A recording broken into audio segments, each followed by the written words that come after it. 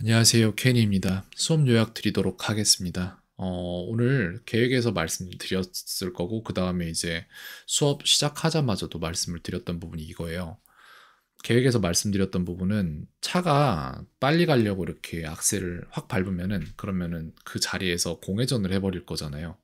그런 것처럼 차랑 지면이랑 그 마찰력 사이 이런 어떠한 것들이 맞물려 같이 돌아가는 것들이 있을 텐데, 마음이 급하면은 이제 단어를 자꾸 던지는 거죠. 근데 그건 제가 볼 때 상대에 대한 배려인 것 같아요.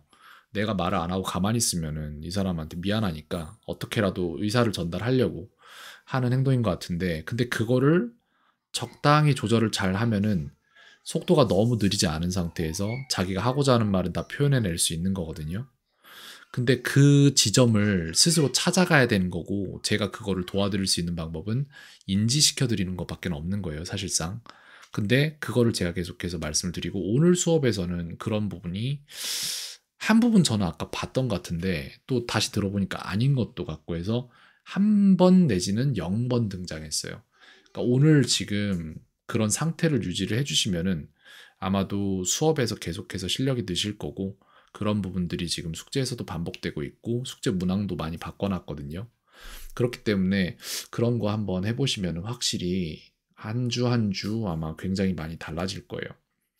이렇게 해서 자기가 넣고 싶은 것들을 딱딱 넣는 상황이 계속 반복이 돼야지 실력 상승이 오는데 그게 아니면은 실력 상승도 오지 않고 또 지쳐요, 마음이. 그렇기 때문에 이런 거 되게 중요합니다. 오늘 제대로 잘 해내셨어요.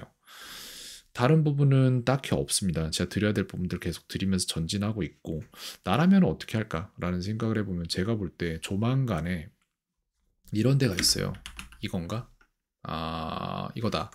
language exchange라는 사이트가 있어요. 여기가 뭐냐면은 언어 교환을 하고 싶은 사람들이 이렇게 자기 프로필 같은 거 올려놓고 나는 무슨 언어를 하는데 당신에게 무슨 언어를 배우고 싶어요. 당신에게 무슨 언어를 가르쳐 드리고 싶어요. 뭐 이런 게 있거든요.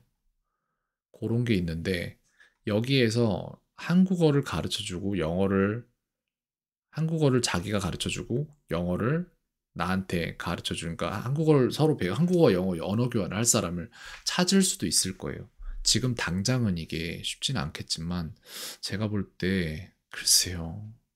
한 달 정도 생각해서 여기에 맞출 실력을 여기에 가능하게 만들 실력을 급진적으로 이렇게 끌어올릴 수 있을까라는 생각을 문득 하고 있었고 거기에 대해서 생각하자마자 오늘 생각이 들자마자 바로 말씀을 드려보네요. 바로는 안 될 거예요. 근데 아마 글쎄 한두 달 정도 가능할까? 이쪽으로 저는 조금 발을 좀 뻗어볼 것 같아요.